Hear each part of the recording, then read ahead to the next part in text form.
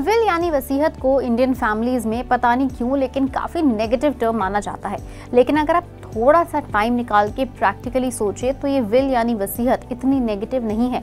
In fact एक ऐसी चीज़ है जो आपके परिवार को भविष्य में मदद करती है प्रोटेक्ट करती है। जितनी भी संपत्ति आपने पूरे जीवन या आपकी पुरानी वाली जनरेशन ने पूरे जीवन मिलकर कमाई, बचाई, उसको प्रोटेक्ट करने का एक ही तरीका है विल लेकिन सबसे बड़ी समस्या ये आती है कि आधे से ज़्यादा लोगों को ये पता ही नहीं है कि विल कहाँ से करानी है वसीयत कहाँ से करानी है, और उन्हें लगता है कि बहुत बड़ा ये लंबा सा प्रोसीजर है, इसलिए कतराते हैं। आज हम इस वीडियो में आपको ये बताने वाले हैं कि आप घर बैठे मात्र पाँच मिनट के अंदर ऑनलाइन डिजिटल विल कर सकते हैं, वो भी थोड़े से पैसे देकर, जिससे आपका और आपके परिवार दोनों का ही भविष्य बहुत ही सिक्योर हो जाएगा। एक डिजिटल विल आपकी संपत्ति को, आपकी फाइनेंशियल इन्वेस्टमेंट फंड्स को, आपके एसेट्स को, आपकी डेथ के बाद प्रोटेक्ट करता है और सेफली आपके लीगल नॉमिनी तक पहुंचाता है।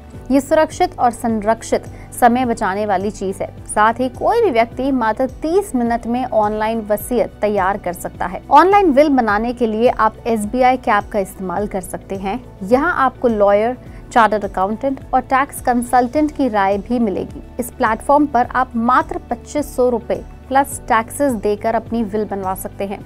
इसके लिए आपको सबसे पहले साइट पर लॉगिन करना होगा। फिर इसके एसेट्स की डिटेल्स और दूसरी इंफॉर्मेशन आपको देनी होगी।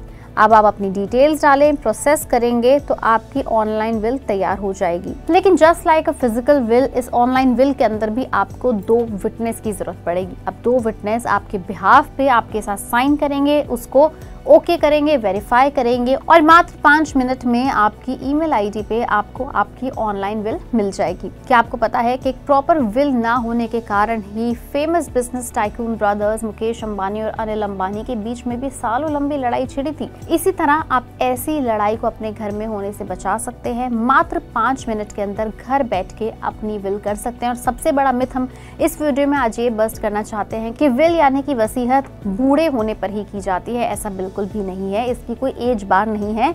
तो जब आपको लगे कि सही समय आ गया है, आपके पास इतने एसेट्स इतनी संपत्ति है कि आप अपनी अगली जनरेशन को देना चाहते हैं, आप घर बैठे विल कर सकते हैं। अगर इसके किसी भी प्रोसीजर में, किसी भी स्टेप में आपको दिक्कत आए तो हमें नीचे कॉमेंट सेक्शन में लिख के ज़रूर बताएँ। और याद रहे कि इस तरह की ऐसी और इन्फॉर्मेटिव वीडियोस के लिए आप देखें पैसा लाइव हमारे चैनल को फॉलो करें और सब्सक्राइब करें।